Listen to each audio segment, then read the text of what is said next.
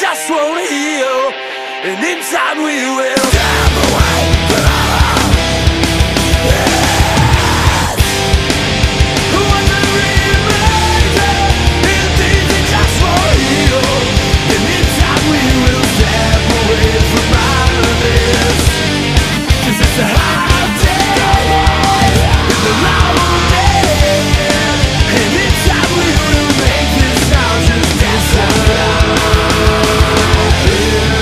Will make this disappear.